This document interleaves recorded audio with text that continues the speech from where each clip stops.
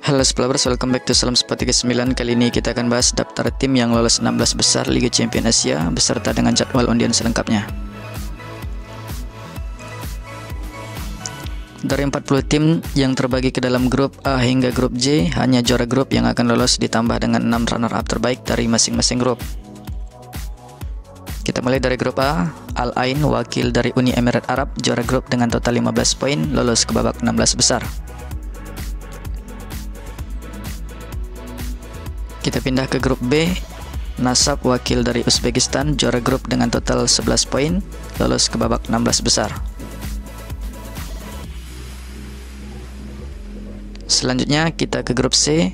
Al Ittihad wakil dari Saudi Arabia juara grup dengan total 15 poin, lolos ke babak 16 besar.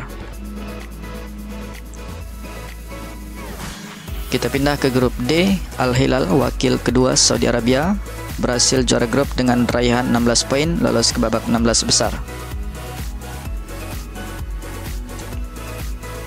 Lanjut ke grup E, Al Nassr wakil ketiga Saudi Arabia berhasil juara grup dengan 14 poin lolos ke babak 16 besar. Berikutnya ke grup F, Bangkok United wakil Thailand juara grup dengan total 13 poin lolos ke babak 16 besar. Selanjutnya ke grup G, Yokohama F Marinos wakil Jepang juara grup dengan 12 poin, lolos 16 besar. Lanjut ke grup H, Penforet Kofu wakil dari Liga J2 League Jepang atau Liga 2 Jepang juara grup dengan 11 poin, lolos ke babak 16 besar.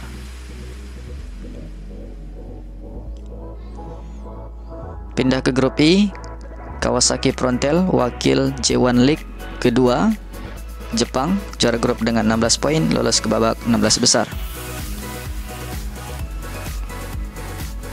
Berikutnya kita masuk ke grup J, Pohang Steelers wakil Korea Selatan juara grup dengan 16 poin lolos ke babak 16 besar.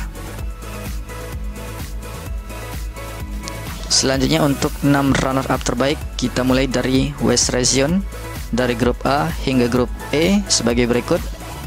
Best runner up nomor 1 di West Region adalah Nabahor, wakil dari Uzbekistan dengan 13 poin lolos ke babak 16 besar.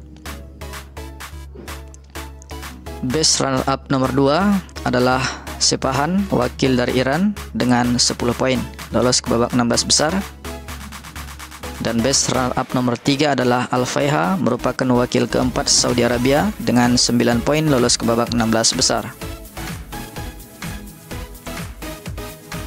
Berikutnya kita pindah ke S region dari grup F hingga grup J sebagai berikut. Best runner up pertama Sandong Taisan wakil Cina PR berhasil raih 12 poin dan lolos 16 besar. Best runner-up kedua, Jeonbuk Hyundai, wakil kedua dari Korea Selatan, raih 12 poin, lolos ke babak 16 besar. Dan best runner-up ketiga, Ulsan Hyundai, wakil ketiga Korea Selatan, dengan 10 poin, lolos ke babak 16 besar. Inilah 16 tim terbaik Liga Champion Asia 2023-2024 yaitu 4 wakil dari Saudi Arabia, 3 wakil dari Korea Selatan, 3 wakil dari Jepang, dua wakil dari Uzbekistan, satu wakil dari Uni Emirat Arab, satu wakil dari Iran, satu wakil dari Cina Per, dan satu wakil dari Asia Tenggara yaitu dari Thailand. Adapun jadwal drawing untuk 16 besar akan digelar pada Kamis 28 Desember 2023.